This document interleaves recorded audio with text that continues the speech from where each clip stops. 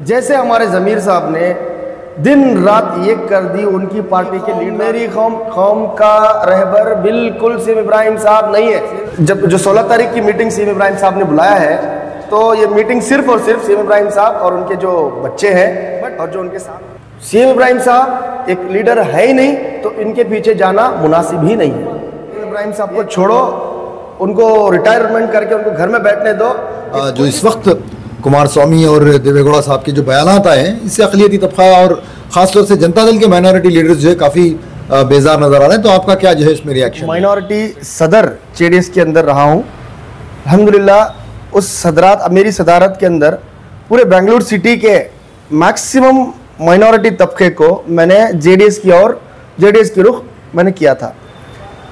तो आपका सवाल देवेगौड़ा साहब और कुमार स्वामी साहब के जो स्टेटमेंट्स आ रहे हैं तो वो क्यों आ रहे हैं? तो what is the reason behind this सीधा सीधा रीज़न है कि उन्होंने हाथ मिलाया है बीजेपी से मैत्री करेंगे बीजेपी के साथ तो कहीं ना कहीं उनको रूट अपना चेंज करना ही है कि not only minority almost all the communities सारी कम्युनिटी को लेके चलना है। तो मेरा मानना ये है कि देवेगौड़ा साहब सेक्युलर थे सेक्युलर हैं और आने वाले दिनों में भी सेक्युलर रहेंगे। तो आज जो हमारे कुमार स्वामी साहब, जो कि गलत स्टेटमेंट्स मुस्लिम्स के खिलाफ गलत स्टेटमेंट्स दे रहे हैं, मुझे नहीं लगता कहीं भी उन्होंने गलत स्टेटमेंट मुस्लिम्स के खिलाफ दिया है। उन्होंने डिफेंड किया है कि जे डी देवेगौड़ा साहब के बातों को डिफेंड किया उन्होंने। क्या डिफेंड किया है?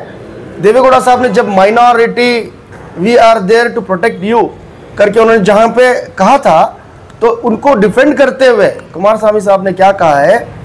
कि not only minority we stand for all communities उन्होंने टारगेट नहीं किया माइनॉरिटी को। फिर भी मैं ये कहना पसंद करूँगा कि मैं खुद भी डिसाइड नहीं किया हूँ कि इस पार्टी में रहना है कि नहीं यहाँ से निकल के दूसरी पार्टी जाना है। आने वाले दिनों में सलीम भाई सवाल सवाल ये है उन्होंने क्या बयान दिया ये एक अपनी जगह जो है एक अलग मसला है। लेकिन भारतीय जनता पार्टी के साथ जो उनका पीपुल कोलाब्रेशन है इस कोलाब्रेशन के साथ जो अखिलती तबका काफ़ी नाराज़ है।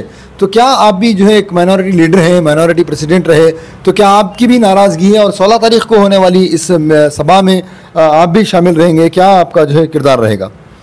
सर, जो हमारे सीएम इब्राहिम साहब की अगर बात करें तो उन्होंने जो 16 तारीख को जो मीटिंग बुलाई है तो मैं पसंद करूँगा कि हमारे जितने भी कायदीन मुस्लिम लीडर्स हैं, मुस्लिम जेडीएस के लीडर तबके के लीडर हैं, या तो इनके पीछे जो भी लीडर्स हैं, उनको रिक्वेस्ट कर रहा हूँ कि ये जो सीएम इब्राहिम साहब हैं, वो उनको मैं लीडर ही नहीं मानता।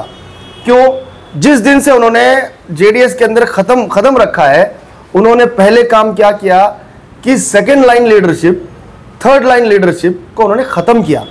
One man army one man decision लेने वाले बन गए।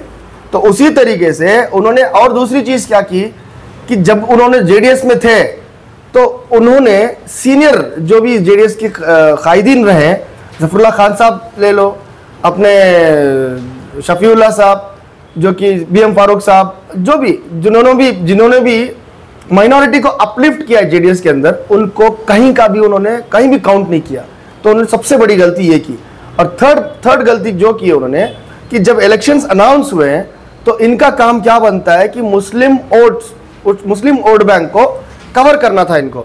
अगर इन्होंने सही से अपना टीम वर्क करके जो भी जितने भी कायदीन रहे हैं हमारे जेडीएस के अंदर, उनको कॉन्फिडेंस में लेके, जितने भी ग्राउंड लेवल लीडर्स कार्यकर्ता, उनको अगर कॉन्फिडेंस में लेके, ये अगर उलमास के पास रेगुलरली विज़िट करके उनके दुखड़े सुनते, या तो कुछ उनके क्लेम्स या तो उनके कमिटमेंट्स अगर ये लिए होते, कुमार स्वामी साहब को अगर ये तीन, चार, पाँच दफ़ा छः दफ़ा, जैसे हमारे जमीर साहब ने दिन रात ये कर दी, उनकी पार्टी के लीडरान को लेके वहाँ पे नाश्ते करवाते रहे, दोपहर में खाना खाते रहे तो उनको सक्सेस मिली।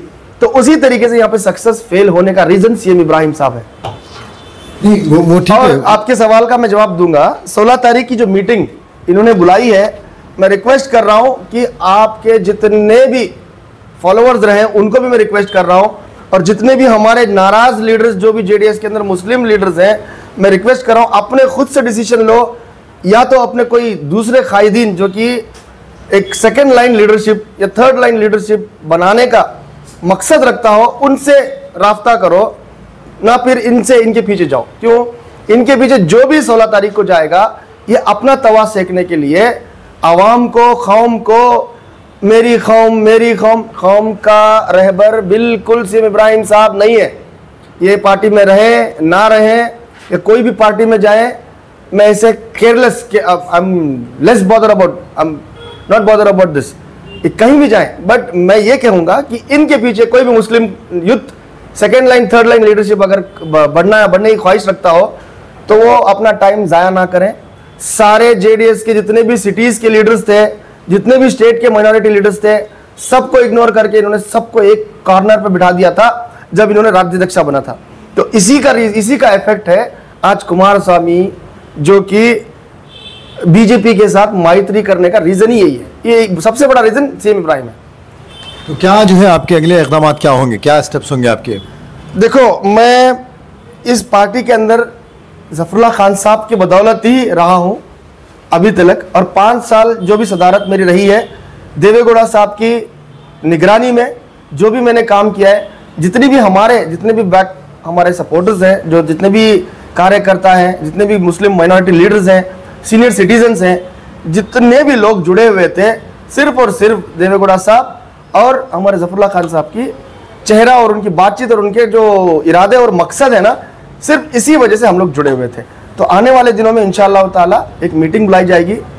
मैं रिक्वेस्ट करूँगा जफरुल्ला खान साहब को कि उनके लीडरशिप में एक मीटिंग हो कि हमें क्या स्टेप लेना है। क्यों? उनको कहीं से भी अपना मुफाद, अपना मकसद, कहीं से भी वो अपना मकसद नहीं देखते। तो उनका मकसद यही रहता है कि second line leadership third line leadership कैसी बढ़ाया जाए।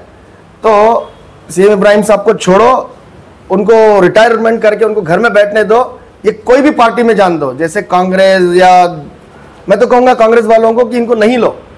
बिकॉज़ कांग्रेस से वहाँ से वापस यहाँ पे आए, उसी तरीके से अभी फिर वहाँ पे जाके गंद मचाएँगे तो इनको ना लो तो अच्छा है। कोई भी दूसरी पार्टी जैसे आम आदमी पार्टी हो मैं रिक्वेस्ट कर रहा हूँ आने वाले दिनों में आपकी मर्ज़ी लो या ना लो बट इनके पीछे लीडरशिप कायम होना बहुत मुश्किल है, नामुमकिन के बदौलत है, और इनके सिर्फ़ भाषण ही अच्छे रहते हैं, इनको फॉलोअर्स फॉलो नहीं करते। अगर वैसा होता तो आज जेडीएस की नौबत नहीं होती।